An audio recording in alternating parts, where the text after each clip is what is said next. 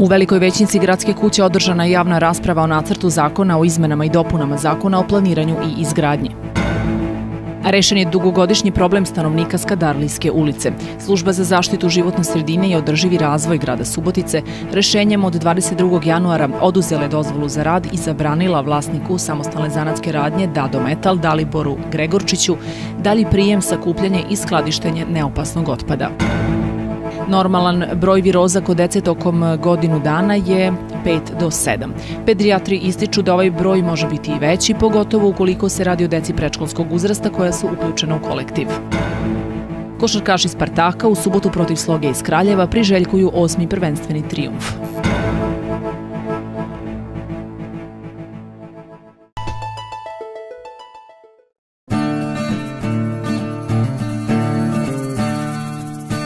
Kade i tuš kabine vaših snova. Sve za vaše kupatilo.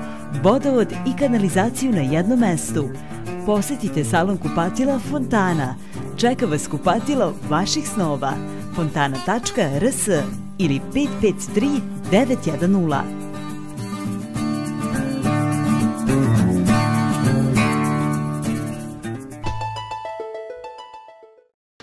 Dobroveče, poštovani gledalci. Ja sam Silvija Kozma, vi pratite Infoblok Jueko televizije. U Velikoj većnici gradske kuće održana je javna rasprava o nacrtu zakona o izmenama i dopunama zakona o planiranju i izgradnji. Ovaj zakon usvojen je pre tri godine, a iz Ministarstva građevinarstva poručuju da je cilj da se kroz izmenu i dopunu zakona uredi oblast prostornog planiranja i urbanizma, koja je u osnovnom zakonu, prema rečima državne sekretarke Aleksandre Damjanović, bila pomalo zanemarena.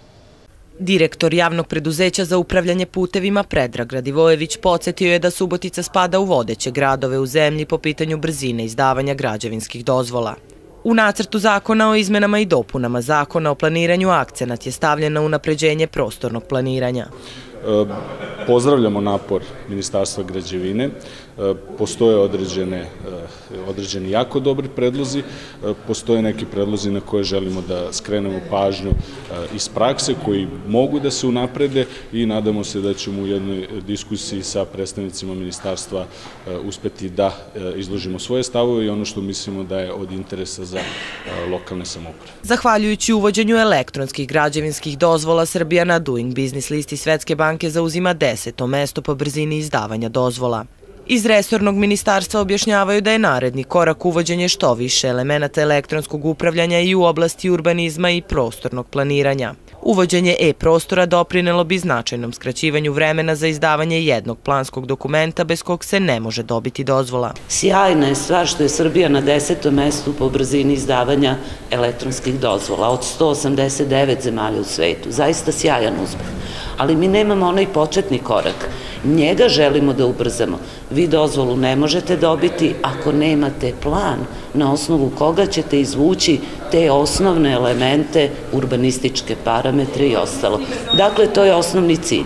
Drugi cilj jeste da se unapredi postojeći softver za izdavanje elektronskih građevinskih dozvola uvođenjem novih funkcionalnosti, to nam je vreme pokazalo da je potrebno, ili unapređenjem postojećih funkcionalnosti. Državna sekretarka Aleksandra Damljanović ukazala je na problem sa nedostatkom građevinskih inspektora i dodala da je ovaj problem koji se javlja u nekim opštinama u direktnoj vezi sa brojem bespravno izgrađenih objekata. U Srbiji još uvek važi zabrana zapošljavanja u javnom sektoru, a iz ministarstva navode da će kroz ovaj zakon to pokušati da promene, jer su građevinskim inspektorima povećane nadležnosti i obim posla, a broj je ostao isti. Javna rasprava trajaće do 6. februara do kada se mogu dostaviti primetbe i sugestije. Tekst nacrta zakona dostupan je na stranici Ministarstva građevinarstva, saobraćaja i infrastrukture. Većina preduzeća u Srbiji očekuje povećanje profita i obima prodaje u ovoj godini, a primetan je porast broja kompanija koje smatraju da će ove godine biti pogodna za širenje malih i srednjih preduzeća i da će doći do poboljšanja ekonomskih uslova u našoj zemlji. Ovo je deo predstavljenih rezultata pro optimist istraživanja o poslovnom optimizmu među malim i srednjim preduzećima i preduzetnicima u Srbiji. S druge strane, rezultati istraživanja pokazuju da čak dve trećine srpskih preduzeća ne planira da ove godine dodatno investira, ali i poveća plate zaposlenima. Na predstavljanju istraživanja rečeno je da 85% preduzeća u Srbiji očekuje istu ili bolju profitabilnost u 2018. godini, a najveći optimisti su one kompanije koje posluju sa nemačkim kolegama, jer čak 97% njih očekuje očekuje veći profit ove godine. Glavna i odgovorna urednica biznis magazina i ekonometra Radojka Nikolić kaže da trendovi jesu pozitivni, ali da treba biti oprezan u procenama i zaključivanju, jer rezultati pokazuju da kompanije neće značajno započinjati nove investicije ove godine. Treba imati u vidu trend porasta optimizma jer su mala i srednja preduzeća oprezna, a s obzirom da su MSP oprezna, trend je u svakom slučaju pozitivan. Negativno iznenađenje je što 81% srpskih preduzeća ne planira povećanje plata u Srbiji.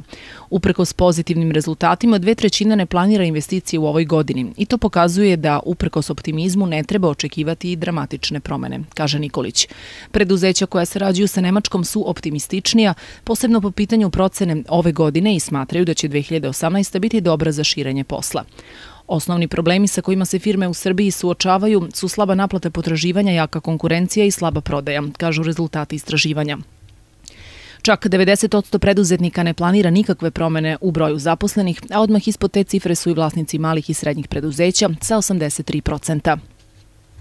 Predsednik pokrajinske vlade Igor Mirović razgovarao je sa predstavnicima Vatrogasnog saveza Vojvodine o saradnji pokrajinskih organa sa ovom dobrovoljnom organizacijom, čija uloga je od izuzetnog značaja za svaku sredinu, posebno u kriznim situacijama. Predsednica Vatrogasnog saveza Vojvodine Ljubica Krnjajić i sekretar Saveza Branislav Čolak informisali su predsednika pokrajinske vlade o programu rada na polju zaštite od požara, preventivne delatnosti i stručne obuke pripadnika dobrovoljnih vatrogasnih organizacija, kao i o aktivnostima za povećanje broja mladih dobrovoljaca za rad u ovoj organizaciji. Predsednik Mirović podržao je planirane aktivnosti Vatrogasnog saveza Vojvodine, posebno u domenu podizanja kvaliteta i unapređenja rada ove humanitarne organizacije prema evropskim standardima, kao i operativno povezivanje vatrogasnih društava sa lokalnim samoupravama, profesionalnim vatrogasnim jedinicama u okviru MUPA i njihovu međusobnu saradnju u zaštiti života i imovine ljudi u slučaju požara. U današnjem susretu je ocenjeno da Vatrogasni savez Vojvodine ima dobru saradnju sa pokrajinskim štabom za vanredne situacije.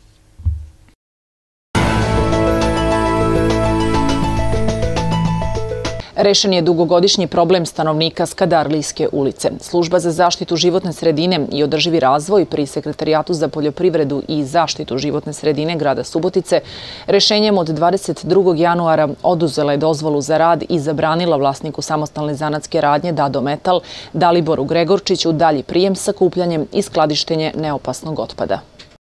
Takođe, naloženo mu je da u roku od 90 dana primeni obavezne mere zaštite životne sredine, zdravlja ljudi i materijalnih dobara.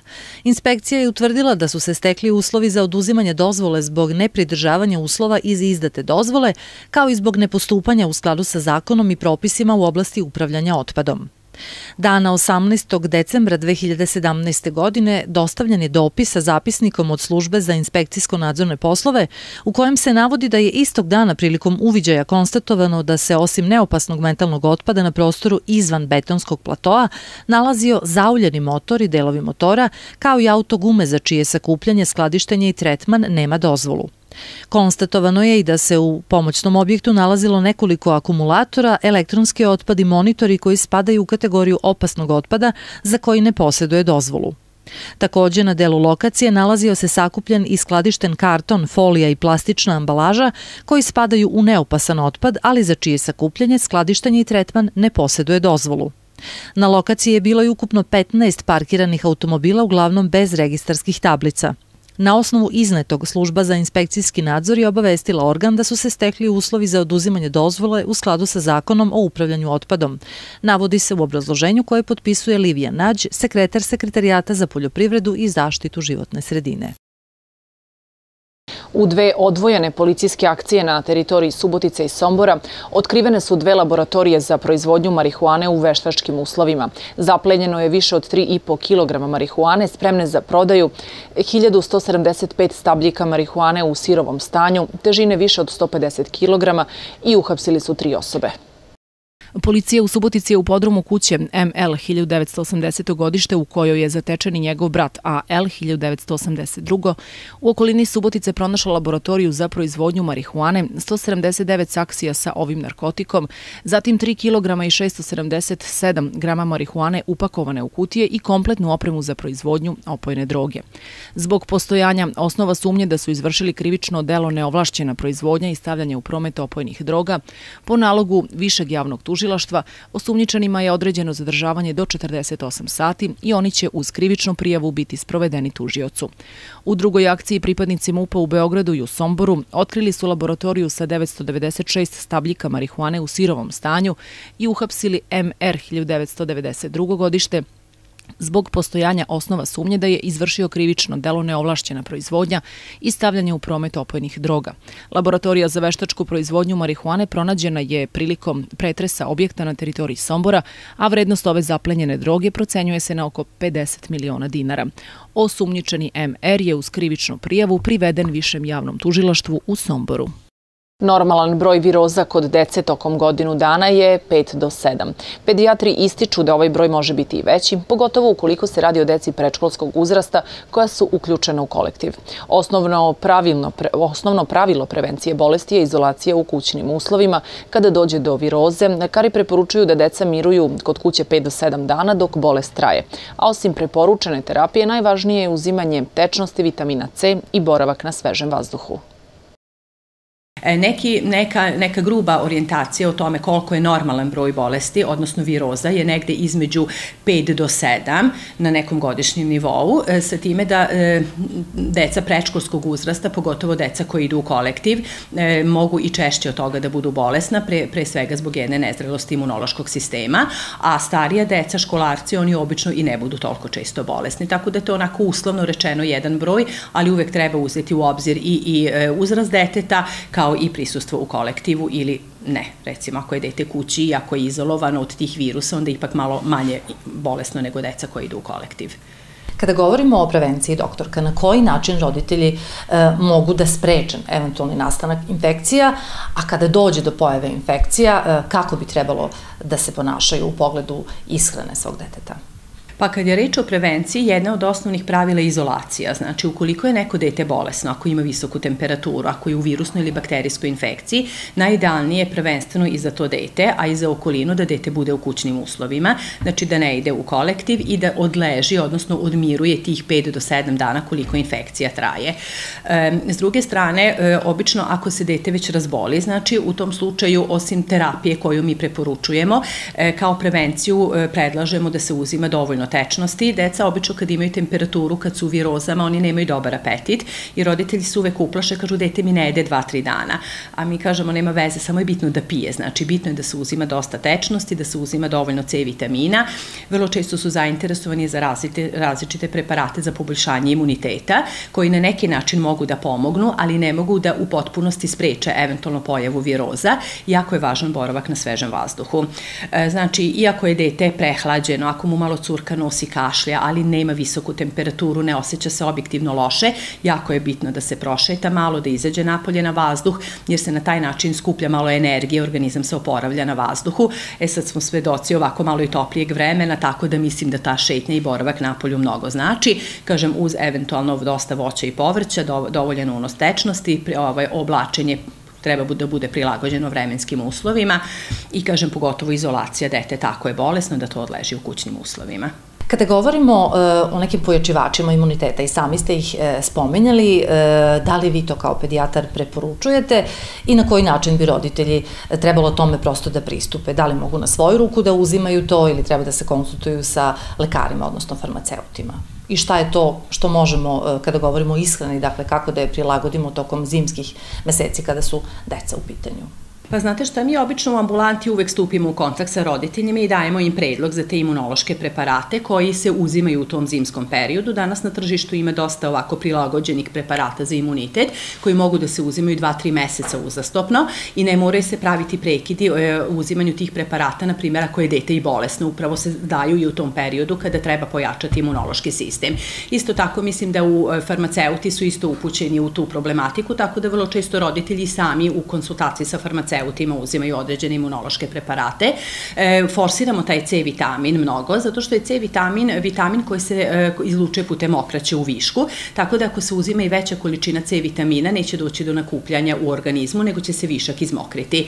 E, voće i povrće nam je uvek potrebno. E, nekada kod manje dece to nekada ide teže, pošto deca malo nekada znaju da budu probirljiva, pa možda roditelji ne mogu baš adekvatno u tol tolikoj meri da im daju voće, povrće, vitamine, limunadu i te u prirodnim stvarima, mada mi uvek forsiramo ovaj prirodne preparate C vitamina ako je moguće. Tako da kažem, eto ti suplementi i taj C vitamin u prahu koji postoji na tržištu može sasvim fino da nadomesti možda eventualno neki smanjeni apetit ili možda neku nesaradnju kad je manje dete u pitanju, jer smo vrlo često svedoci toga da dođu roditelji i kažu ja pa neće da popije limunadu, pa neće da pojede pomoranđu i tako i onda tu malo neka nesaradnja ako postoji, onda ti suplementi imaju u stvari neko svoje mesto.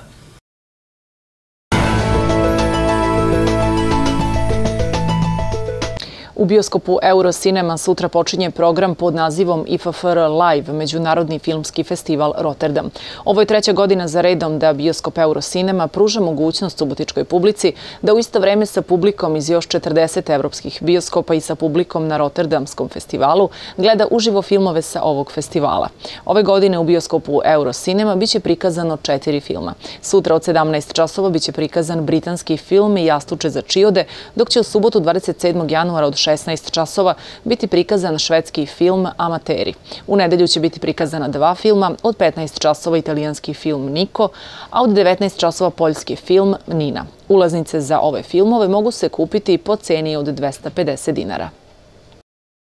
Ono što je interesantno je da se u isto vreme, e, da u isto vreme publika u 40 bioskopa širom Evrope i publika u Rotterdamskoj bioskopskoj sali gleda određeni film. E, ove godine bioskop Eurocinema se odlučio da prikaže četiri filma od šest koliko su oni ponudili i e, jako smo sretni što dva od ta četiri filma imaju svoju svetsku premijeru. Znači, u suštini publika u bioskopu Eurocinema će imati priliku da vidi dva filma prvi put prikazana bilo gde, na bilo kom festivalu uopšte.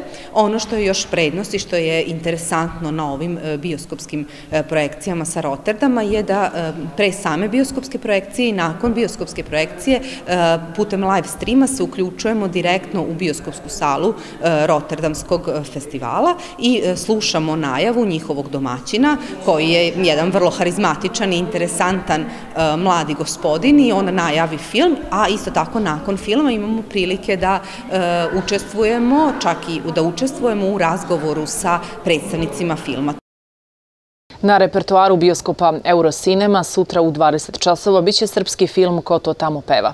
Ovaj film restauriran je u okviru projekta VIP Kinoteka koji ima za cilj da se očuvaju i zaštite neki od najpoznatijih naslova sedme umetnosti koji su proglašeni za nacionalno kulturno dobro od velikog značaja. Prvi u nizu digitalizovanih i restauriranih filmova koji će se prikazati u okviru ovog projekta je kultni film domaće kinematografije koji je od Jugoslovenske kinoteke proglašen za najbolji srpski film Ostvarenje ostvarenje ko to tamo peva. Ulaz na ovaj film je besplatan.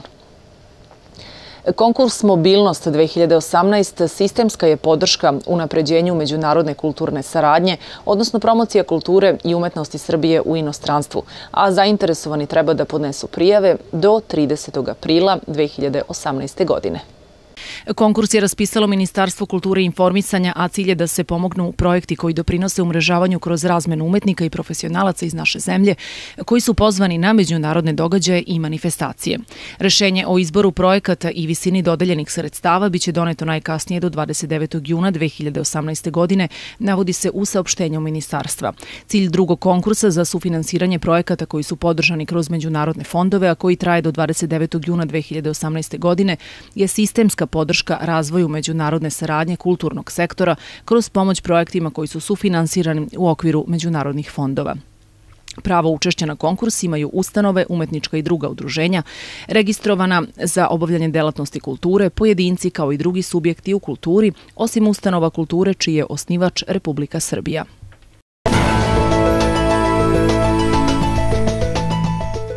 U okviru 16. kola Košarkaške lige Srbije košarkaši Spartaka u subotu u 19 časova i 30 minuta ugostiće slogu iz Kraljeva. Pošto se naredni protivnik Subotičana trenutno nalazi na poslednjem mestu na tabeli i igrači zajedno sa stručnim štabom, ali i navijači priželjkuju novi prvenstveni triumf košarkaša Spartaka koji bi im prekinuo crni niz od šest uzastopnih poraza.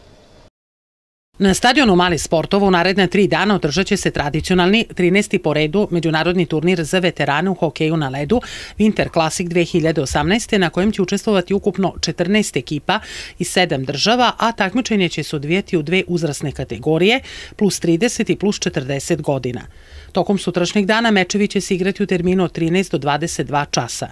U 13 sati izdvajamo duel između hokejaša Spartaka i noćnih ptica – U 14 časova Subotičani će odmeriti snage sa drvenim nogicama iz Beograda, dok će se u 19 časova odigrati neka vrsta vojvođanskog derbija između hokejaša Spartaka i Novosadske Vojvodine. Ovo je, da kažem, atrakcija u svetu, pošto više nigde ne postoje otvorena klizališta, samo još u Subotici, tako da mi sa tim malim brojem dana leda ne možemo da očekujemo neke ambicije.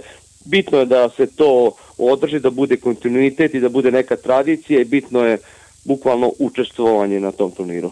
Jedino što nam je grad eto, omogućio te termine za let, ovaj, da možemo to da organizujemo, ostalo bukvalno sve sami sa svojim zalaganjem organizujemo. U tekućem prvenstvu Košarkaške lige Srbije do sada je odigrano 15 mečeva. U tim susretima košarkaši Spartaka, koji od samog starta šampionata, zbog brojnih i teških povrede igrača, imaju ozbiljne kadrovske probleme, uspeli su da zabeleže 7 pobeda, dok su u 8 duela doživeli poraze. Sa takvim rezultatskim saldom Subotičani imaju 22 boda i u konkurenciji 14 timova nalaze se u grupi pet ekipa koje s istim brojem bodova zauzimaju plasman od 8. do 12. mesta na tabeli. Postoje ekipa Sloge koja je poslednja na tabeli, međutim mi ne možemo u ovom trenutku nikog da pocenjujemo. Nama je potrebna pobeda pod hitno i nadam se da ćemo to u ovom meču uspeti. Pozvao bih publiku da dođe u što većem broju. Posle šestog uzastopnog poraza, košarkaše Spartaka u subotu u hali sportova u 19 časova i 30 minuta očekuje meč 16. prvenstvenog kola, u okviru kojeg dočekuju poslednje plasiranu slogu iz Kraljeva koja ima 8 bodova manje od njih. Izabranici trenera Dragoljuba Vidačića pred svojim navijačima igraće pod imperativom pobede, ali uprako s brojnim teškoćama domaćin ipak važi za favorita, pa i navijači košarkaša Spartaka priželjkuju triumf svog tima koji bi im u ovom momentu jako mnogo značio ne samo na podizanju samopouzdanja, nego bi im omogućio i pomeranje ka gornjem delu tabele. Sloga je i na tabeli i po sastavu jedan od timova koji ovaj, onako može se reći ima možda i najtanji sastav, tako da to možemo i moramo da iskoristimo u subotu da bi se vratili na neki normalan put, da bi nam pobjeda verovatno donela malo i samopouzdanje za sledeće utakmice u u kojima bismo tražili svoju šansu, možda se vratimo na put prema i Superligi. U sklopu priprema za prolećni ciklus takmičenja u Superligi, rukometaši Spartak koji puta odigrali su treću kontrolnu utakmicu. Ovaj put putari su u Segedinu odmerili snage protiv mađarske ekipe Alđo, sportskih prijatelja sa kojima imaju višegodišnju uspešnu saradnju. Treneru Subotičana, Slaviše Lakoviću, ovaj meč poslužuje za podizanje formi igrača i uigravanje novih kombinacija – Rukometaši Spartaka odlično su otvorili ovu utakmicu, pa se na odmor otišlo sa minimalnom prednošću domaćina u 14 prema 13. U nastavak susreta putari su ušli u velikom grču, pa su dozvolili protivniku da se rezultatski odlepi, tako da je na kraju triumf od 30 prema 26 pripao pribranijem i kvalitetnijem domaćinu. Prvu zvaničnu utakmicu u ovoj godini rukometaši Spartak koji puta odigraće 1. februara, kada će u hali sportova od 19 časova u okviru polufinala Kupa Vojvodine ugostiti Novosadsku Vojvodinu, dok će nastavak prvenstva u Superligi uslediti 10. februara, kada će Subotičani biti gosti Šamota iz Aranđelovca. Idemo da, da, da što bolje odigramo taj kup, da damo svoj maksimum i mislim da, mislim da ovaj, nastavak prvenstva neće uopšte biti toliko lak imamo ekipu Šamota, tu gostujemo, posle toga gostujemo ekipi Obilića, tako da morat ćemo baš dobro da radimo i da se spremamo da bi, da bi ostvarili dobar uspeh.